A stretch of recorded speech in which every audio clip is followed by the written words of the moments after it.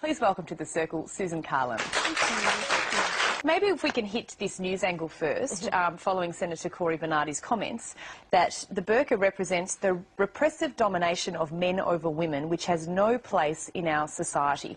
What are your thoughts about that comment? First of all, it assumes that all the women that are wearing um, the burqa or the hijab or the niqab or any other mm-hmm. uh, clothing are doing so solely because the men in their lives are making them, and that's simply not the case. Certainly in some circumstances, in some countries around the world it is.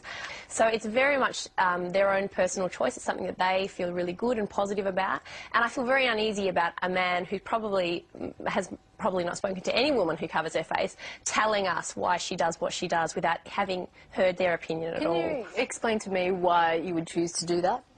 I obviously can't speak entirely on their behalf, but I just know from the friends, they just see it as being a positive expression of their spirituality. They see it as something that it works for them. It's not for me, but if it works for them, I think they should be allowed to dress how they want to. Mm. It's something that I guess they help. It helps them feel closer to their creator, and if it works for them, you know, I, I, don't see it as an issue. Mm. Susan, you're a lecturer in politics at Monash University in Melbourne. Tell us about your journey from Christianity to mm. Islam. I was raised in, I had a, a, a, lovely upbringing with my family, had a very positive experience at the church, so it certainly wasn't, um, my conversion certainly wasn't out of a, a, horrid rejection of the church or anything like that. I loved going to Sunday school, but it was when I was about 17, I just, I started to wonder, why do I believe what I do? Is it because I think it's um, true, or is it just because I've been raised to believe this? And so I decided to look into other religions to, or, and no religion to see what made sense to me. Um, and but except for Islam, that was the last one on the list because I thought it looked sexist and outdated and barbaric and, and all the standard stereotypes. But I found, despite myself, when I when I would stumble across information about Islam, that it actually surprisingly made a lot of sense to me when I stripped away all the politics and propaganda and sensationalism and actually got down to what the religion said about itself. It was um, very beautiful, very peaceful, um, very logical, and it just really resonated with me. But it wasn't until I was 19 that I decided to become Muslim because I was worried about how my family and friends would react. And it was a, a big decision, but it got to the stage where I just knew, look, this is what makes sense to me, and I can't live my life to make other people happy. This is what feels authentic for me. Mm. And so when I was 19, I, I changed religion.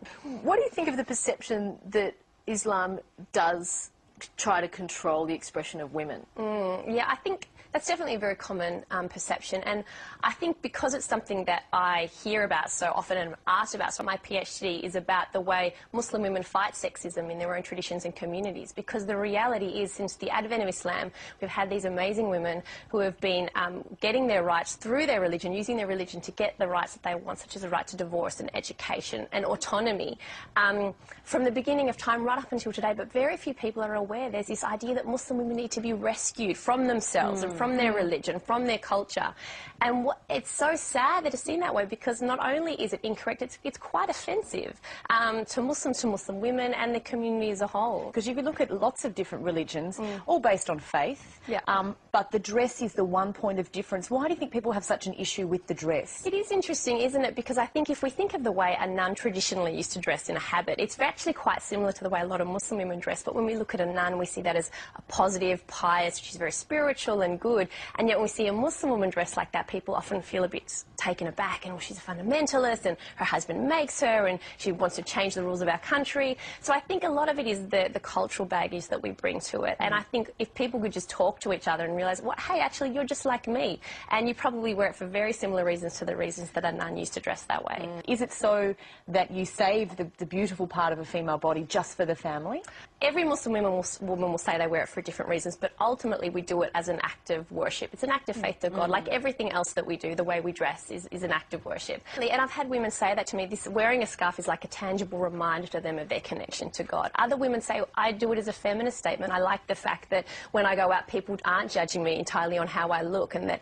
So there's a lot of different reasons that are in it, but I've never once had a woman say to me, I wear it because my husband makes me. It's far, far more common for a woman to say to me, my husband wishes I wouldn't, my parents wish I won't. I, I don't wear it at home, and then when I get out, I sneak around the corner and put it on. Thank you so much, Susan, for joining us on The Circle. Very you. informative and interesting chat. Please thank, thank Susan Carland.